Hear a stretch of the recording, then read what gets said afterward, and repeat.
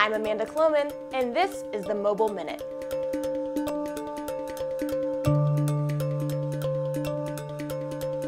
With the buzz about Instagram's new video service and brands flocking to Vine, a reasonable question to ask is, why is everyone suddenly so crazy about mobile video? Mobile video has exploded, thanks mainly to changing mobile habits, faster wireless networks, and powerful cameras inside devices. Video is even one of the main components built into Google Glass. As video goes wearable, it shows our desire to record and share our lives is front and center. It's not just users who are smitten with video.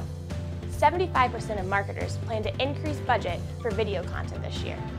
Within minutes of Instagram video's launch, Lululemon posted yoga videos and The Gap shared a word game.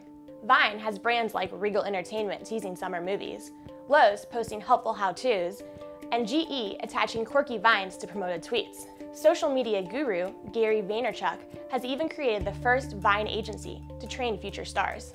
However, Instagram's 100 million users and Facebook tie-in make it a new creative threat. Our developers say that Instagram's clearly been prepping their servers to deal with the video boom. They've built a system that continues to remain fast and responsive.